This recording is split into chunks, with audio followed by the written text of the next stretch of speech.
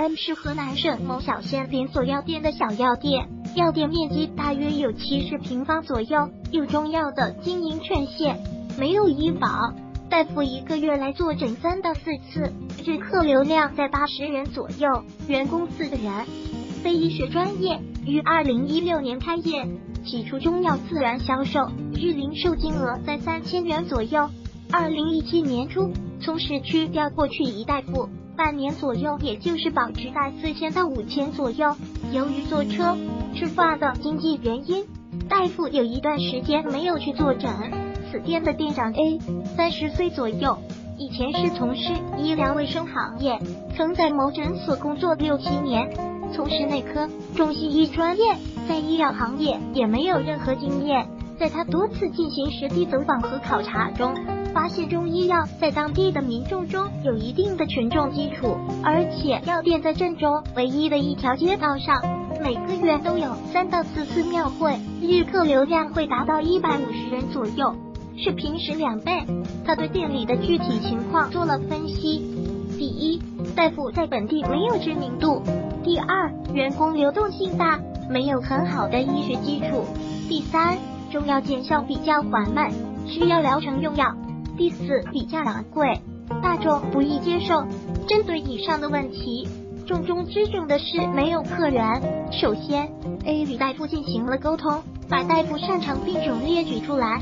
挑选了两个病种，一是脾胃病，另一个是中风后遗症。其次，做了一个大型的广告牌进行介绍大夫，同时电子屏幕二十四小时滚动不停介绍，扩大大夫的知名度。最后，精准客户群，遇有顾客重复购买胃痛药和活血化瘀止痛药，就是咱们进行介绍中医药在这方面的优势，进而介绍大夫的一些情况。如果的患者感兴趣，可以留下联系方式，通过不断的进行顾客和大夫之间的认识转换，让患者知道这个药店有大夫，进而让患者的有种这里不仅仅可以买药，更可以看病的潜意识。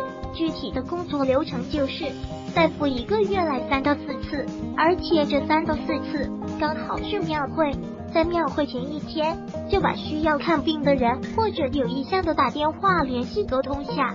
等到庙会那一天，只要能来三十个人，而且十五个人开处方，一个人平均两百，就可以保证有三千的收入。另一个不能忽略的就是马太效应，庙会的客流比较多，大概在一百五十个人左右。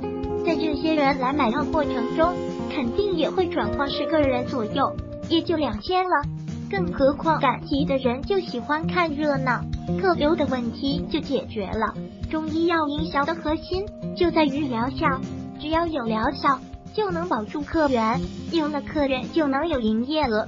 不断对患者进行教育，而且必做回访，有效果告诉患者要坚持，进而向其他有同类疾病的人转介绍。